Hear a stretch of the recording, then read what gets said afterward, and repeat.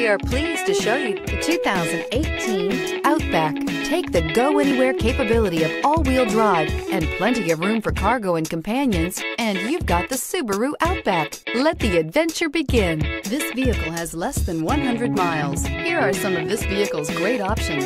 Leather-wrapped steering wheel, universal garage door opener, compass, outside temperature gauge, leather seats, perimeter alarm, tinted glass, body color door handles, engine immobilizer, roof rack. This beauty will make even your house keys jealous. Drive it today.